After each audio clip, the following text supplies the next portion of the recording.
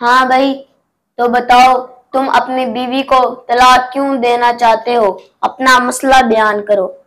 जज साहब, मैं आपको तलाक देने की वजह बताता हूँ।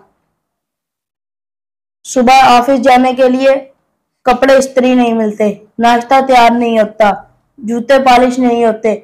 ऑफ़िस से थका आ रहा घर वापस आता हूँ मौसूफा घर नहीं मिलती, खाना नहीं मिलता, बर्तन नहीं धोती, घर साफ़ नहीं करती गंदगी पड़ी रहती है आप कपड़े नहीं धोती।